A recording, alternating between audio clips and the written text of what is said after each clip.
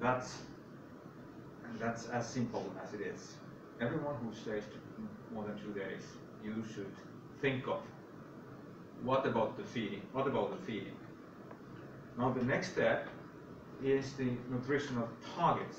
How much we should give him or her. Calories, energy. How much of energy, first of all. How much of calories? How much you use uh, in everyday life?